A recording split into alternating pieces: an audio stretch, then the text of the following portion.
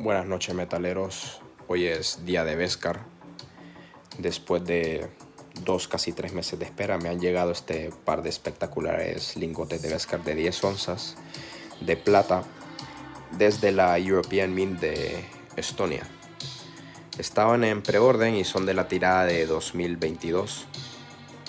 Está a un precio muy asequible, nada que ver con la locura que se vivió con los, la edición de la tirada de 2021 donde cada uno llegó a alcanzar valores estratosféricos de hasta 1300 euros por uno de.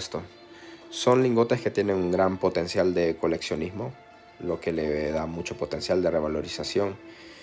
Y me he conseguido dos, uno me lo voy a quedar sí o sí, y el otro si surge alguna buena propuesta, a lo mejor me, piense, me lo piense y lo venda. Haré un video corto porque había hecho uno sobre Vescar. Y bueno, hasta luego.